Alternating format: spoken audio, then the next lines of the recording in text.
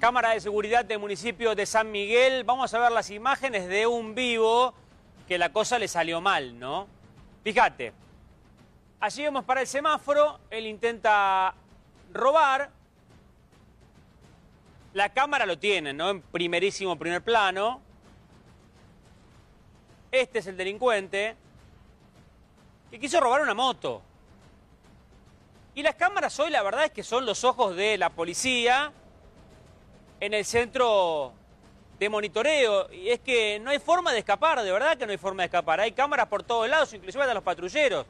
Segundo después del intento de robo, la policía llegó a donde estaba y lo detuvo. Está todo tan bien diagramado, aquellos municipios que utilizan las cámaras, que la verdad que cubren casi todas las cuadras, por no decir todas. Entonces el que trata de escapar pensando que se mete en algún asentamiento, una casa que está desocupado, además, la verdad que queda expuesto igual. Y aquí vemos el caso eh, de lo que ocurrió en San Miguel.